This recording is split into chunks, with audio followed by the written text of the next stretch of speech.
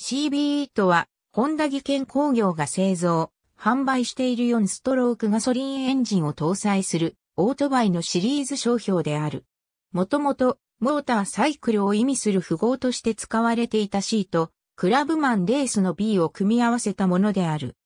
またベスト、またはベターの B や1959年から輸出開始されたアメリカ合衆国向け使用者にアメリカの A を付けたことから国内車両には A の次の B を付けて CB としたという説もある。諸説あり。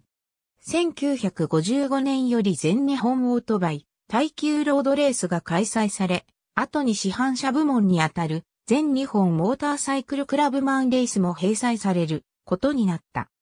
ホンダ既存の市販車をベースに対応車を開発することになり、排気量 250cc クラスでは C71 をベースにした CB71、125cc クラスでは C90 をベースとした CB90 が試作された。しかし CB71 は C71 からの車体構造に問題があったため、市販直前に発売を中止。